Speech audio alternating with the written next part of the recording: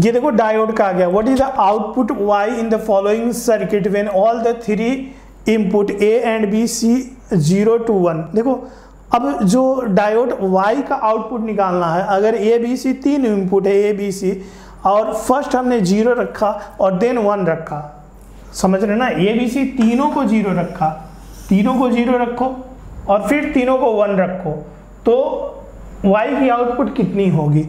तो चलो, देख लेते हैं वाई का। अगर मैं इसको पहले एक बार इसका एक्सप्रेशन हम लोग कर लेते हैं। यहाँ से ए है ए है। बुलियन बुलियन एल्जेब्रा लगा देते हैं। ए है ए है तो ये मल्टीप्लाई किया ए डॉट बी किया। ये यहाँ से आया ए डॉट बी यहाँ तक आएगा ए डॉट बी चलो, अब यहाँ से सी आया तो यहाँ से सी आया। तो ये क्या किया? ये इन दोनों को मल्टीप्लाई किया। यहाँ से A dot B multiply dot C इन तीनों को डॉट किया।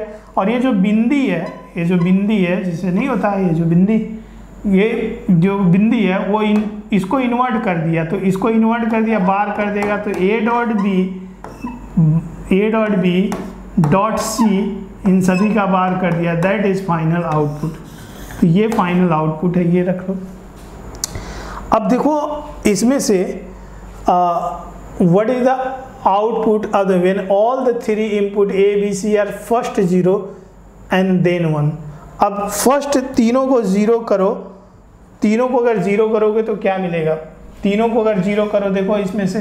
तो ज़ीरो करोगे तो ज़ीरो और ज़ीरो और ज़ीरो और ज़ीरो का बार। तो ज़ीरो मल्टीप्लाइड बाई ज़ीरो और ज़ीरो और ज़ीरो और ज़ीरो का बार वन ठीक है? तो जब ये तीनों ज़ीरो होंगे तो वाई आउटपुट वन देगा यार। तो वन कहाँ है यार? या तो मतलब ये ऑप्शन गलत है, ये भी गलत है। अब ये तीनों वन होंगे वन वन वन और ये वन और बार तो one one one one one और ये ज़ीरो तो वन और ज़ीरो मिलेगा। ये पूरा कंप्यूटर साइंस पूरी डिजिटल इलेक्ट्रॉनिक्स इसी पे डिपेंडेंट